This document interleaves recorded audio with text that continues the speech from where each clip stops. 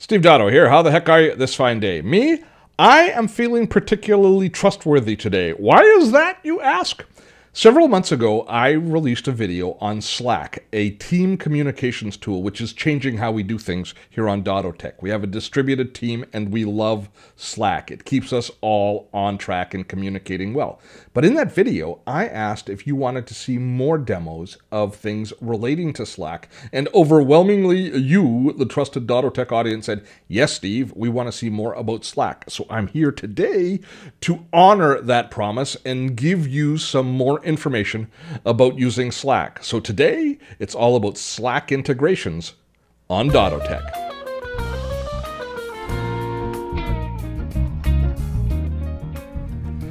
If you haven't viewed our video on Slack already, I suggest that you pause for a few moments and take a look at our video on Slack. Now, Slack is a concept almost as much as a tool.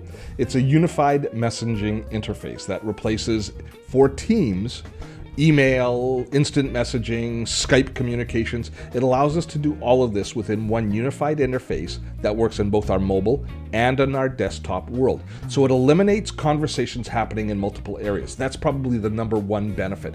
You don't have a conversation happening in Facebook Messenger, then switch into email and not knowing where you said what and having to look through multiple different silos of information to find uh, to find the conversation that you were working on.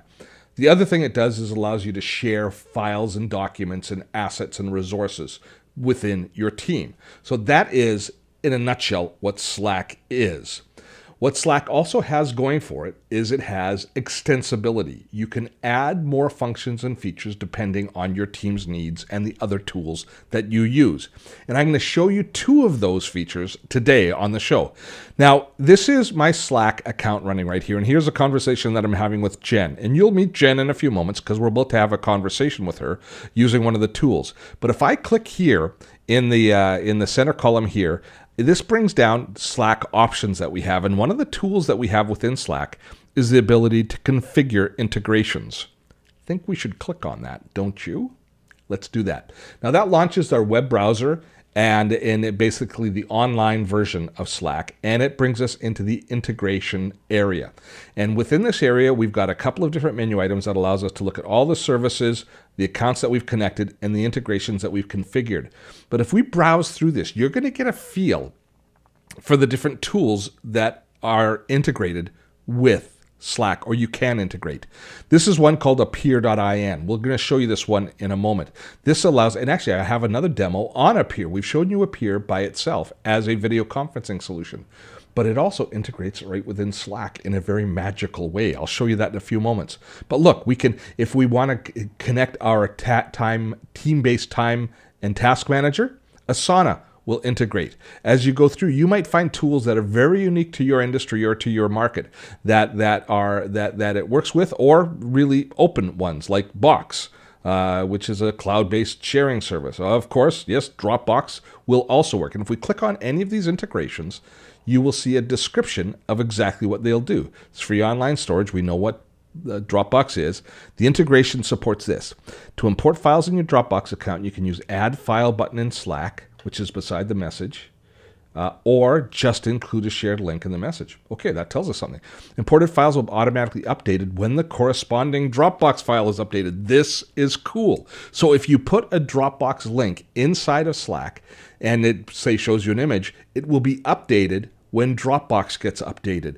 That is the type of integration that we are going to want to have. So let's actually authenticate Dropbox on my account right here so we can show you that process. You just basically go through, authorize it, you allow it, and then the integration is in place. So now if I go to my Dropbox account, let's just jump up here. Let's add a graphic, which would be this one here. I'm going to copy the share link of one of the graphics. And then I go back, let's just head back into Slack and let's go and watch what happens if I paste that link in to a conversation. It looks like a Dropbox link. Do you want us to import it uh, and all future Dropbox links from you? Yes. I could actually make it just once.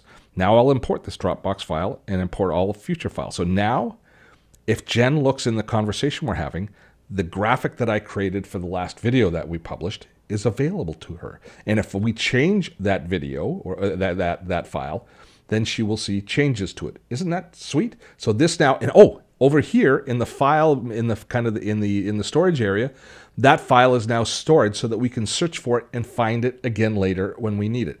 That's one of the beauties of Slack is it creates an archive of all of the different conversations that you have and the different assets that you use in those conversations and then stores them there for you to use later. So as you can see, just going back here into the integrations, there are I don't know if it's hundreds, but it's definitely dozens of different tools that are integrated right within Slack. And you basically have to look at each one to figure out exactly what that integration looks like. I mean, how is MailChimp, for example, integrated in online email marketing? Well, you're going to want to take a look at it and see just how it fits if it's a tool that you're interested in using.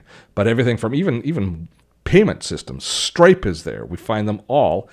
And the one that I was promising that I was going to show you is appear.in. And let me show you how that works. This, it, it, all we have to do in order to create a video conferencing window, rather than me saying to Jen, hey, Jen, let's jump over and let's uh, go into Skype and have a conversation. Instead, I can say, hey, Jen, Jen, time for a chat.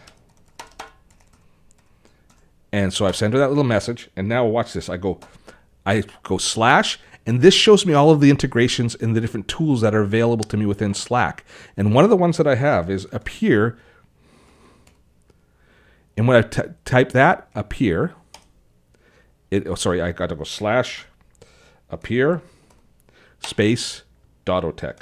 And what I'm doing is I'm actually creating a Appear room and, uh, and watch the video that we did on Appear to understand how the rooms work. But I just created a private conferencing room, web based, that Jen and I can have a conversation in. And there's my video appearing in that room right now. And it might be a little bit messed up because we're recording on uh, on the, uh, the we're recording this as a screencast. But there's Jen. Hi, Jen. Hey. How are you doing? Good. How are you doing? Good. And I was just telling everybody in our video today uh, about how often we use this Appear integration in uh, in Slack. And so why don't you just confirm? Because I haven't prepped you for this. How often do we use this? Every single day. Every day. And, and we used to use Skype.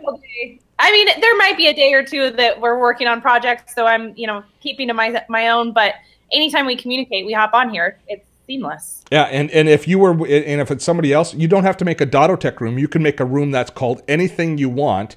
You just and it automatically creates the room on the fly. It, you know what it's like? You, did you watch Harry Potter?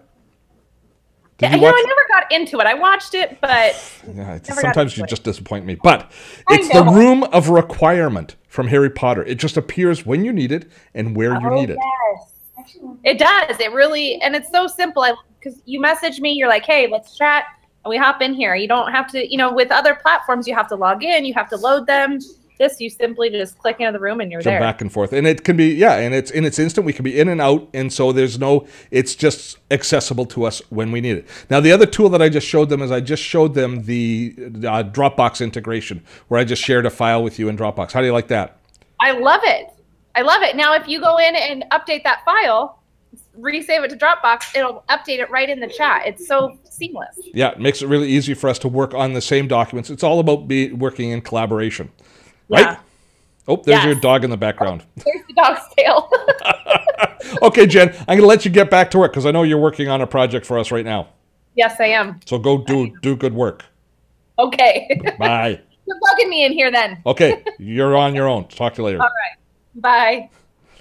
So I've got to give lots of thanks to Jen for taking time out of her schedule to visit with us. But you see now why we like Slack so much and why it's become such an integral part of our distributed team. Jen lives hundreds of miles away, and we've got people on our team who live overseas.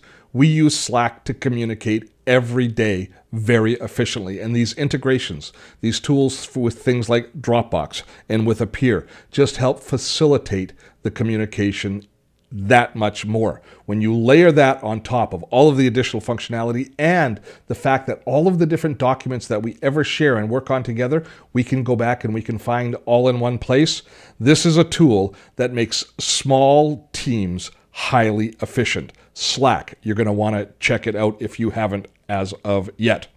Well, that's all the time that we have for today. I hope that you found today's video to be useful. Now, remember, there are three ways to stay in touch with us here on Dottotech. The first is please subscribe to this YouTube channel. Secondly, subscribe to our newsletter. That way, you'll hear about our trainings and tutorials that we do on a regular basis, including ones on productivity tools like Slack.